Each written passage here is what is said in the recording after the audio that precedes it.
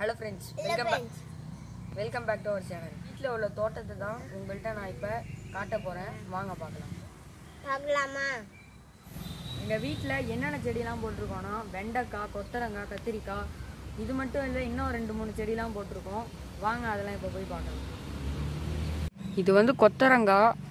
இது போட்டு ஒரு மாதம் ஆகுது. இதில் பூ பூத்துருக்கு பாருங்க. இதுக்கப்புறம் தான் இதில் வந்து காய் காய்க்கும். இது எல்லாமே கொத்தரங்காய் தான். இது வந்து வெண்டைக்காய். இதுலேயும் கொஞ்சம் பூ பூத்துருக்கு. இப்போ தான் காய் காய்க்கிற ஸ்டேஜில் இருக்குது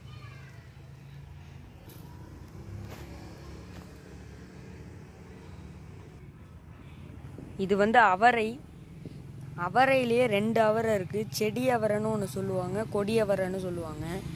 இது வந்து செடி அவரை. இதுலேயும் நல்லா பூ பூத்துருக்கு. இதுவும் காய் காய்க்கிற ஸ்டேஜில் தான் இருக்குது அடுத்தது சோளம். சோளத்தில் வந்து இதுக்கப்புறம் தான் நல்லா பெருசாக வளர்ந்து கதிர் விடும். சோளத்தில் வந்து ஒரு பத்து செடி தான் போட்டோம். எல்லா செடிக்குமே கீழே விழுவாமல் இருக்க ஒரு சப்போர்ட்டுக்காக கீழே வந்து மண் அணைச்சி விட்டுருக்கோம்.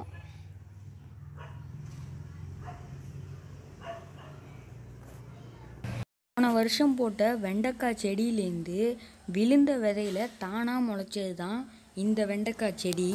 நாலஞ்சு செடி மட்டும் தானாகவே அந்த செடியிலேருந்து முளைச்சது. சொல்லு. வெண்டைக்காய் எப்படி பூ பூத்திருக்கு பாருங்க. எல்லாம் அழகாக இருக்கு பாருங்க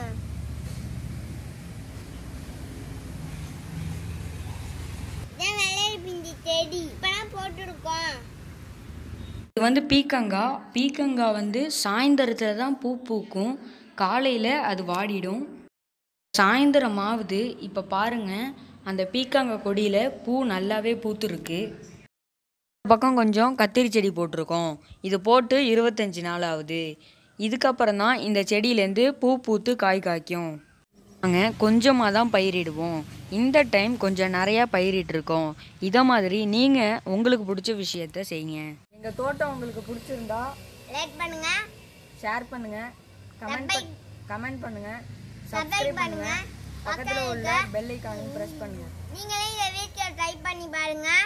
பாய் ஃப்ரெண்ட்ஸ் நெக்ஸ்ட் வீடியோவில் பார்க்கலாம். நெக்ஸ்ட் வீடியோல பார்க்கலாம்.